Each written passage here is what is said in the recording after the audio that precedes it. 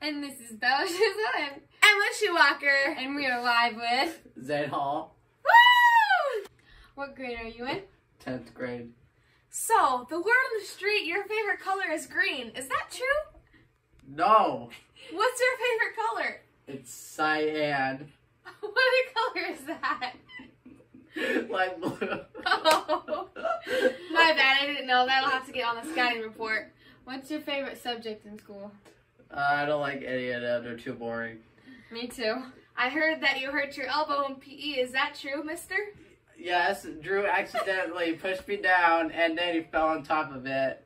And it broke and shattered to pieces and it felt like a dump truck. I'm very sorry, Zane. I hope it gets better. I Me think it too. is better. Uh, but at least you now I have cool rods. Yep. Who's your favorite teacher? Uh, Miss Roth.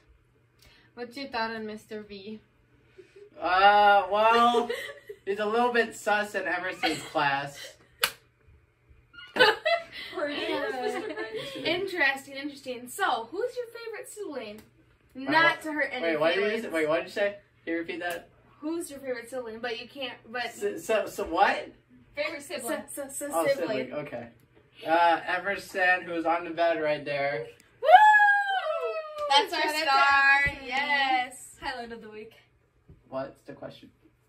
What is your YouTube channel called? It's called Zane. Z A N E.